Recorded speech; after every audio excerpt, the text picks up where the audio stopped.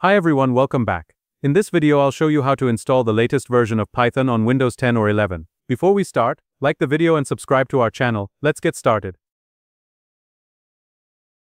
First open your web browser. Type Python then hit enter.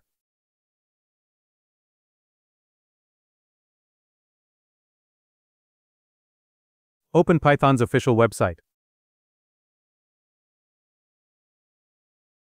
Once you're on the site, move your cursor over the Downloads tab. You'll see the current version available for Windows. Click on it to start downloading. The download will begin automatically.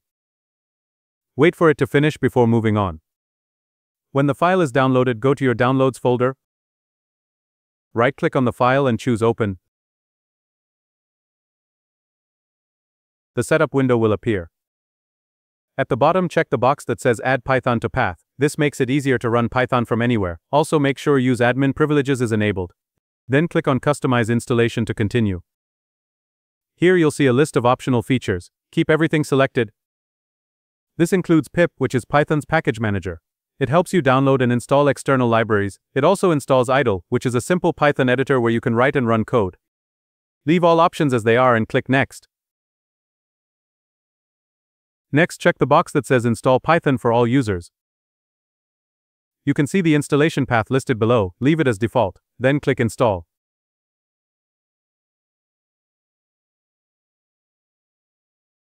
The setup will now begin.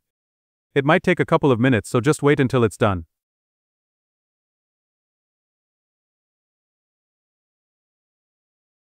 Once the installation completes, you'll see the message setup was successful. Click Close to finish.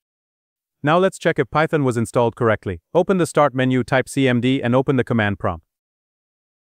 Type this command. Press Enter. If everything worked, you'll see the Python version number on your screen. You can open and run Python by searching on search bar. If you found this video helpful, please like it, subscribe to our channel, and share your feedback in the comments section.